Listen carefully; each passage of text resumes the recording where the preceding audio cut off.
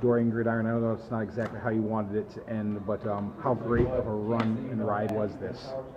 It was a great ride. Uh, I can't I can't be upset uh, about that match anymore because not a lot of people can say they went through everything that I did, make the states. It's definitely been a journey, and that's what it's about. He told me it was right there at the end. Did he just like squirt out and get a, a, a five pointer on you? It- it- no, he got two, and I don't know. I guess I stopped wrestling. Uh, I thought I had him. I pushed the pace. I did everything I was supposed to. The outcome is what it is, and it just goes to show that anything can happen.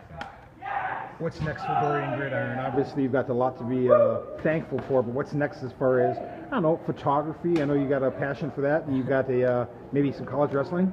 Yeah, probably some college wrestling up at CSU if I can get in. Uh, actually, I did get in, so I do uh, game design and photography just as a hobby. I'm keep going forward, and.